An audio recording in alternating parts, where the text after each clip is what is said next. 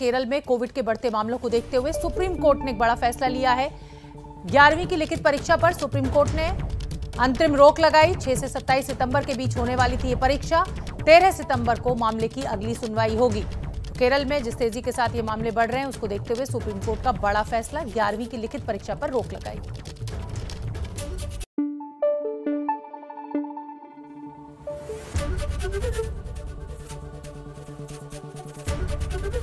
ABP news आपको रखे आगे।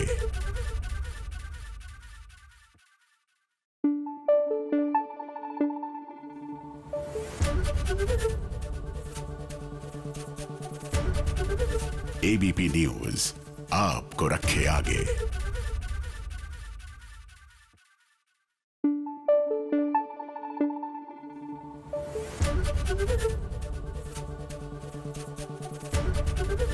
ABP news.